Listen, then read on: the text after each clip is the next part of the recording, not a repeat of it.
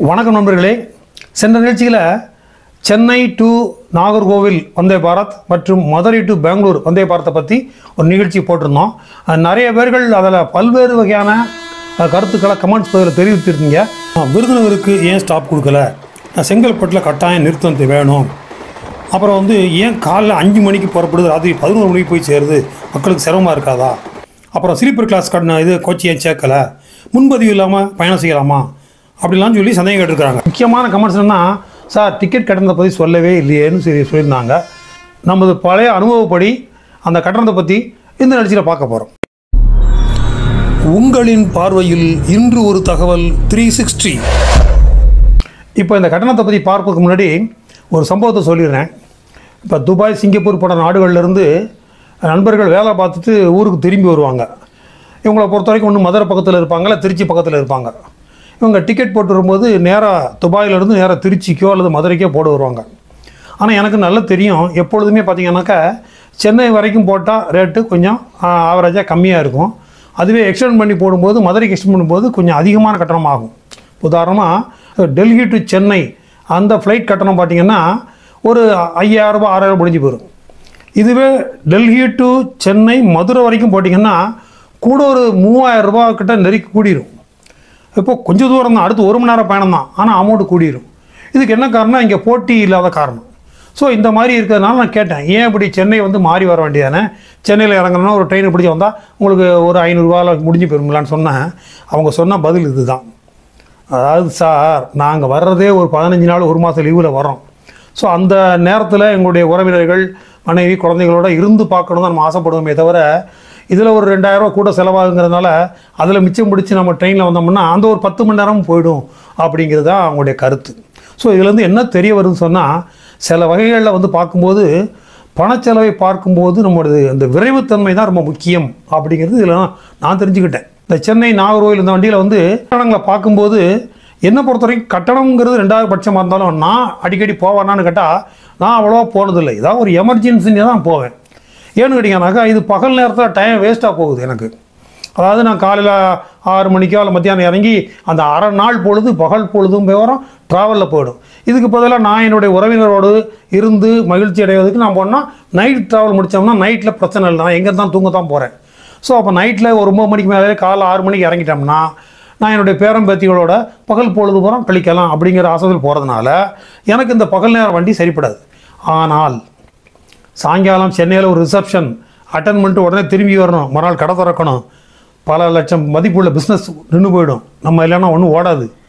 மறுநாள் காலைல கடை திறக்கணும். ஸோ அந்த மாதிரி அவசரம். அல்லது இன்றைக்கி டியூட்டிக்கு போயே ஆகணும். ஆஃபீஸுக்கு ஒரு வண்டி கிடைக்கல. பஸ்ஸில் போனால் டயர்டாயிடும் இப்போ ட்ரெயினில் போகும்போது டயர்னஸ் தெரியாது.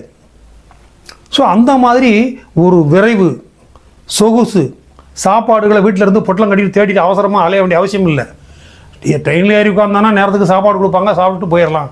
அப்படிங்கிறதுனால இந்த கட்டணங்களை ஒப்பிட்டு பார்க்கும் பொழுது வசதி சிக்கனம் அப்படி பார்த்தீங்கன்னாக்கா வசதியை பார்க்கும்போது சிக்கனத்தை பார்க்கக்கூடாது. இது வந்து ஒரு பொருளாதார விதியே அப்படி தான் அதனால் இந்த வந்தே பாரத் ட்ரெயினானது சாதாரண மக்களுக்கானது அல்ல. சிக்கனம் பார்த்து போனீங்கன்னா வை எக்ஸ்பிரஸ் பகல் நேரம்னா அல்லது இரவு நேரம்னா வந்து மற்ற பாண்டியன் நெல்லை இந்த மாதிரி வண்டிகளில் இப்போ நிச்சயமாக கூட்டம் குறைஞ்சிரும். ஏன்னா பெரும்பான்மையான ஹை கிளாஸ் டிக்கெட் எடுத்து போகக்கூடிய பேஞ்சர்லாம் இங்கே ஓடியாந்துருவாங்க.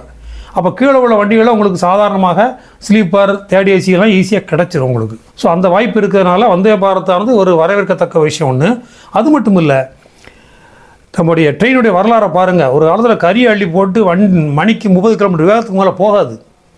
எல்லா ஸ்டாப்பும் நிற்கும். ஒரே ட்ராக்கு இந்த வந்தே பாரத் என்பது வந்து சதாப்தி எக்ஸ்பிரஸ் வகையை சேர்ந்தது.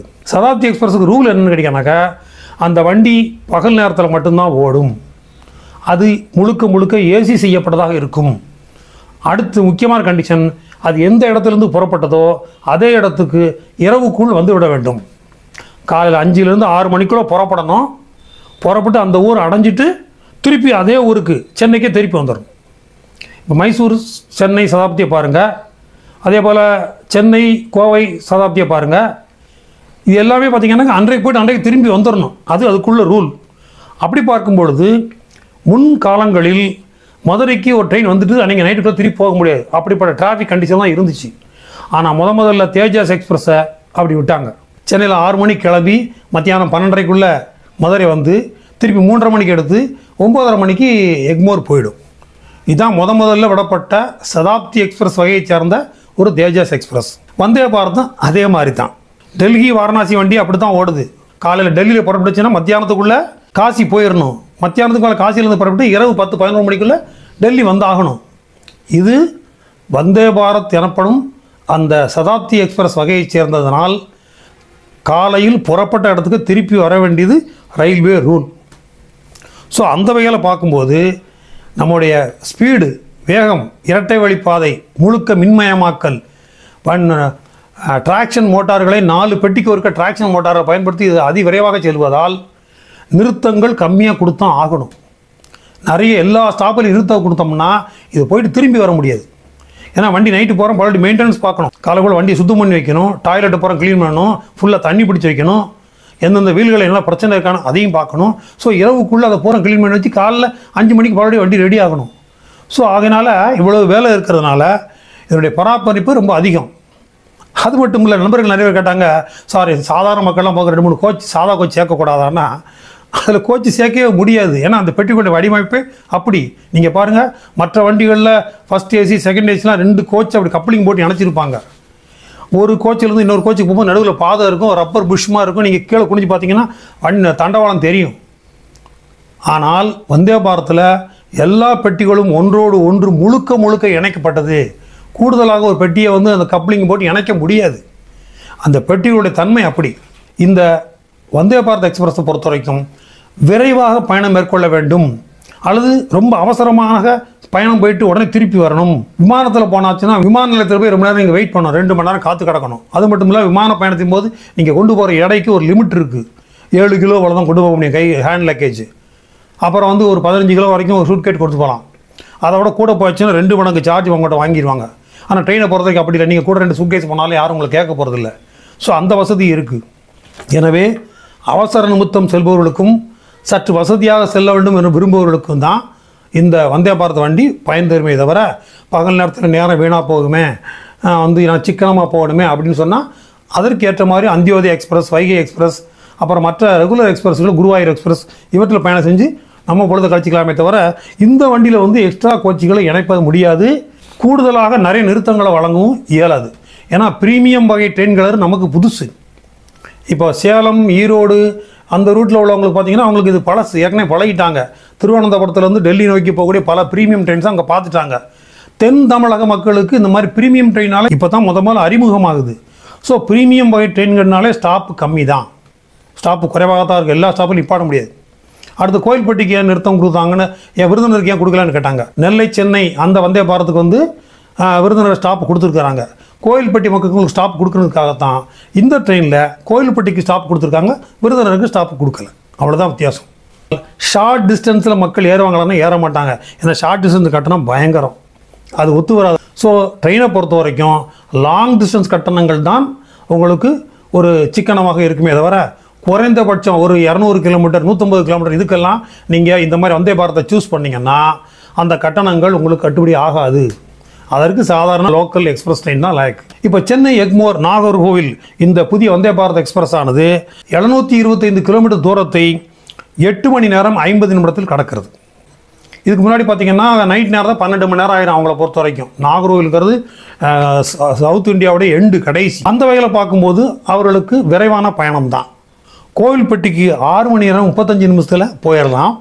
அதே மாதிரி மதுரைக்கு நீங்கள் ஐந்து மணி நேரம் நாற்பது நிமிடத்தில் வந்துடலாம் அதே மாதிரி திருச்சிராப்பள்ளிக்கு மூன்று மணி நேரம் ஐம்பத்தைந்து நிமிடத்தில் நீங்கள் திருச்சிராப்பள்ளி அடைந்து விடலாம் இன்னும் போகிற பக்கம் பார்த்தா திருச்சிக்கும் சென்னைக்கும் இரவு நேரம் வண்டி தேவையில்லை. அந்த ராக் ஃபோர்ட் இதெல்லாம் தேவையே இல்லை. ஏன்னா அவங்கள பொறுத்த வரைக்கும் காலைல அஞ்சு மணிக்கு இறங்கி ஒம்பது மணிக்கு சென்னை இறங்கி வேலைக்கு போயிடலாம். ஸோ அந்த அளவுக்கு வேகம் கூடியிருக்கிறது என்பதை நினைத்து நம்ம ரயில்வே துறை நினைத்து பெருமைப்படணுமே தவிர இதனுடைய வளர்ச்சி இது மட்டும் இல்லை இன்னும் போக போக இருக்கக்கூடிய மற்ற ட்ரெயின்களுடைய வேகமும் அதிகரிச்சுக்கிட்டு தான் இருக்கும்.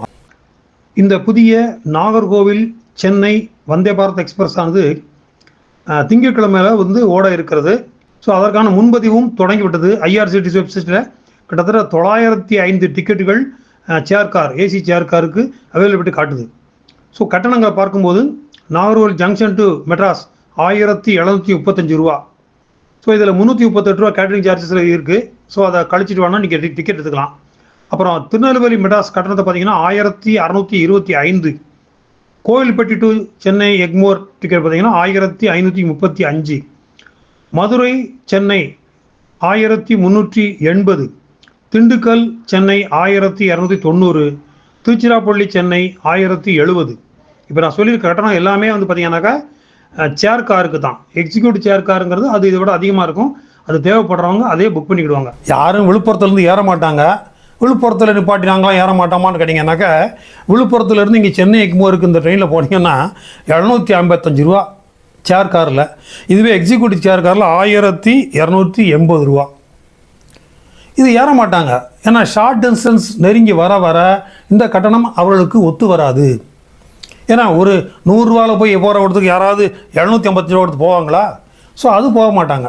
இது யாருக்காகன்னா திருநெல்வேலியோ நாகூரில் ஒரு ஏறுற ஒருத்தர் விழுப்புரத்தில் இறங்கணும் அப்படிங்கிறதுக்காக தான் இந்த கா ஸ்டாப் வச்சுருக்கிறாங்க. பஸ்ஸில் போகிறத விட இது எவ்வளோ தேவலாம் அப்படின்னு நினைக்கிறவங்களுக்கும் தான் இந்த வந்தே பாரத் எக்ஸ்பிரஸ் சரி வரும். மற்றபடி சிக்கனமாக போகிற நினைக்கிறவங்களுக்கும் பகல் நேரத்தில் நேரத்தை வீணாக்க விரும்பாதவர்களுக்கும் இரவு நேர பயண வண்டிகள் தான் சரிப்படும். இந்த பகல் நேர வந்தே பாரதானது அவர்களுக்கு சரி வராது. அவசர விழா காலங்களில் செல்வதற்காகவும் வேறு வண்டிகளில் டிக்கெட் கிடைக்காதப்பா படக்குன்னு புக் பண்ணுறதுக்காகவும் தான் இந்த வண்டிகளில் உங்களுக்கு ரொம்ப பயன் தரும். ஏன்னா மற்ற வண்டிகள்லாம் நீங்கள் மூணு மாதத்துக்கு முன்னாடி ஃபில்லப் ஆகிடும் இதை பொறுத்த வரைக்கும் ஒரு பதினஞ்சு நாள் இருபது நாளைக்கு முன்னாடியே நீங்கள் புக் பண்ணலாம். அந்த அளவுக்கு டிக்கெட் இருக்கும் இந்த வண்டியில். மற்ற பாண்டியனோ நெல்லையோ கன்னியாகுமரியோ பார்த்தீங்கன்னாக்கா மூன்று மாதத்துக்கு முன்னாடியே ஃபுல் ஆகிடும் ஆனால் இந்த வந்தே பாரத் விட்டு பாரு பாருங்கள் வந்தே பாரத்தில் ஒரு பதினஞ்சு நாள் இருபது நாளைக்கு முன்னாடி நீங்கள் டிக்கெட் புக் பண்ணிக்கலாம். ஸோ அந்த ஒரு வாய்ப்பு கிடைக்கிறது. அது மட்டும் இல்லை இந்த இரவு நேர பயணங்களில் நிறைய ஹை கிளாஸ் டிக்கெட் எடுத்து போகிறவங்க பெரும்பாலும் இந்த வண்டிக்கு மாறிட்டாங்கன்னா அங்கே டிக்கெட் எடுக்கக்கூடிய அளவு குறையும். ஸோ அந்த டிக்கெட்டுகள் வந்து சாதாரண மக்களுக்கு நிறைய பயன் தரும்.